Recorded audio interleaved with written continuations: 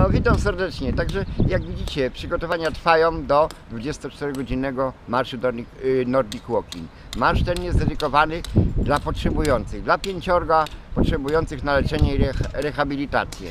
Serdecznie właśnie chciałbym wszystkich zaprosić na godzinę 16 dzisiaj tutaj na stadion właśnie Osiru żeby przyszli i, i, i licznie tutaj właśnie zgromadzili się, żebyśmy tym dzieciom wszyscy pomogli. Polega też to na tym, żeby tym młodym ludziom zaszczepić to, powiedzieć, pokazać, że trzeba pomagać i warto jest pomagać. Bo oni jak później dorosną, to też na pewno będą pomagać. Także serdecznie zapraszam na godzinę 16. Jak nie macie kijków, to nieważne. Ważne to, żeby uczestniczyć i żeby przyjść, żeby symbolicznie grosik do puszki rzucić. Serdecznie zapraszam.